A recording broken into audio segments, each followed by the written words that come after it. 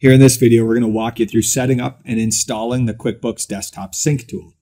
In order to sync to QuickBooks Desktop, you're going to have to install a small tool on the machine where QuickBooks resides so that it can push and pull information from LMN.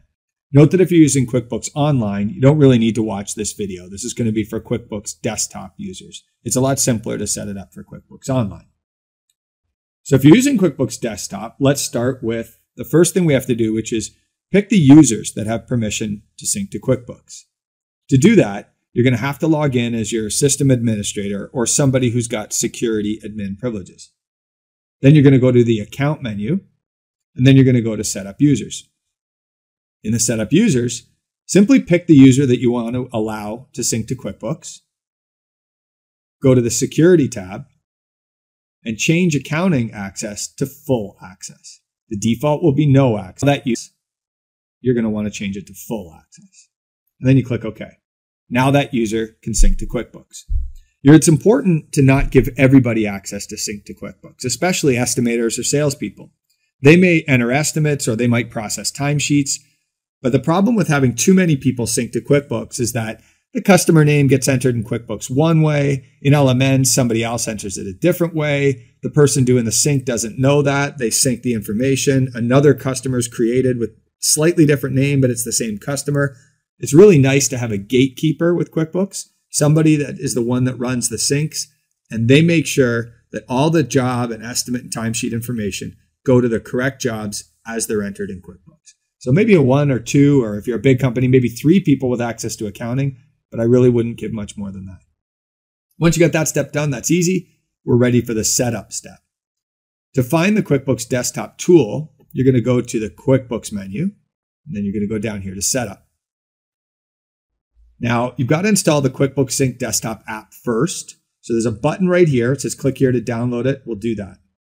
Now, it's important before you run this tool or actually install it on the machine that you close down QuickBooks first. So make sure if you've got QuickBooks running on your machine, it's a good time now to shut it down entirely. Make sure it's completely shut down and sometimes the best way to do that is actually to restart your computer. Make sure it's not even running in the background.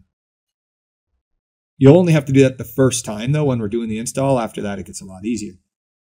Now, if you used Chrome, it might download it here to the bottom, or in, if it's uh, Firefox, it might be to your downloads folder. Either way, we're going to open it now or run it. And you're going to get a screen like this. It says the setup wizard. We're going to say next.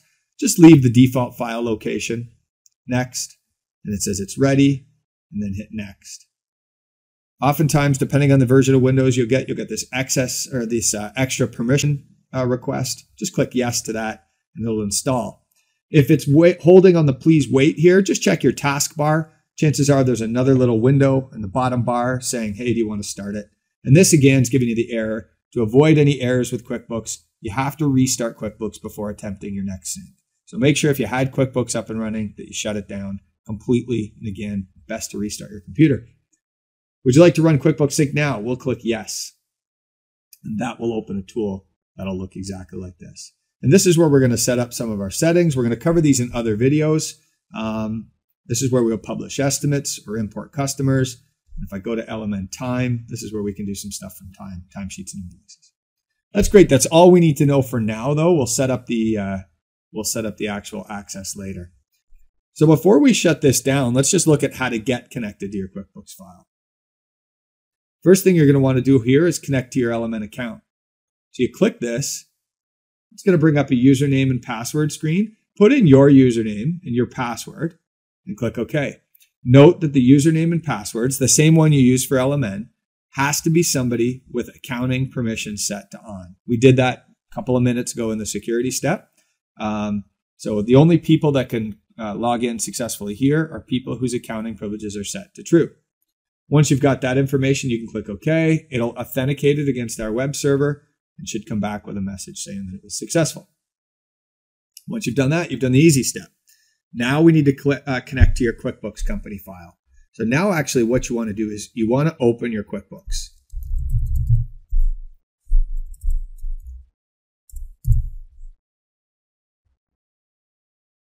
Once your QuickBooks is open, make sure it's open to your company file and logged in with a user with admin privileges. The first time you do this, you're going to want to open QuickBooks, log into your company file, but log in as an admin. An admin has to be the one that creates the initial connection between LMN Sync and QuickBooks. It has to give LMN permission to access your QuickBooks file, and only an admin can do that. So once we've got QuickBooks open, we're going to want to uh, go back to the LMN window and say connect to our QuickBooks file. You'll get this little screen here. You're going to click next to continue. And here it's going to ask for the company file and the QuickBooks. And again, note you must have QuickBooks open in order to do this. If you don't know your company file and path, you go to the Choose button.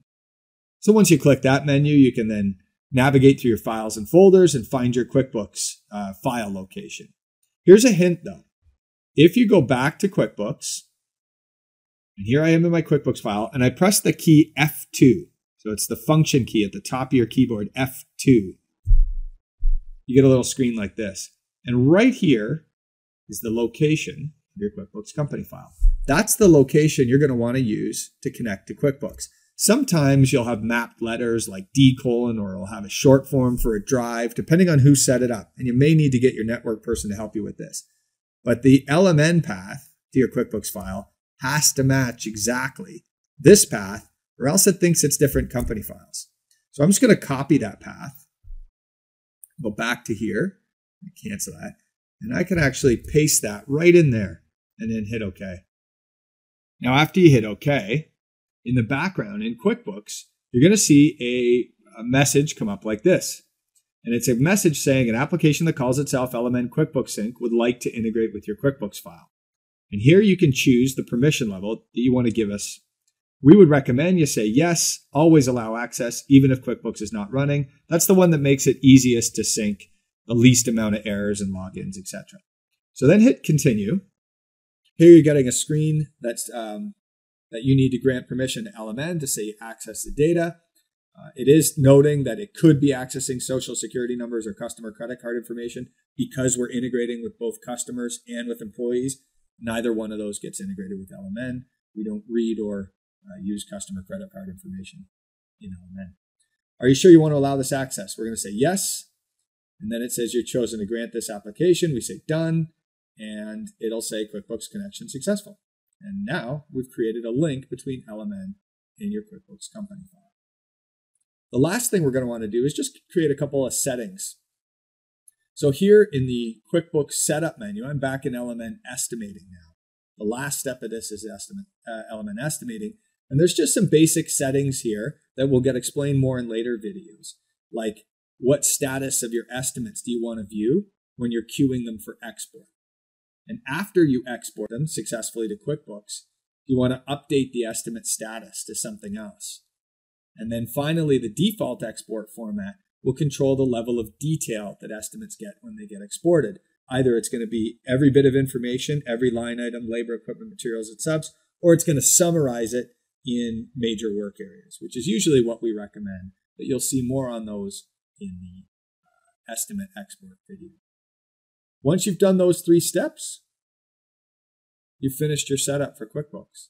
Now, if your QuickBooks is on a company server, you may need a network person to help you get through the uh, map drives, etc., or even have permission to the drive that QuickBooks is installed on. If you're still stuck, be sure to reach out to us. There's live chat, there's golmn.com slash help, or you can email us at advice at golmn.com We'll do everything we can to get you connected and up and running. Once you get past the connected step, you'll never have to do that again.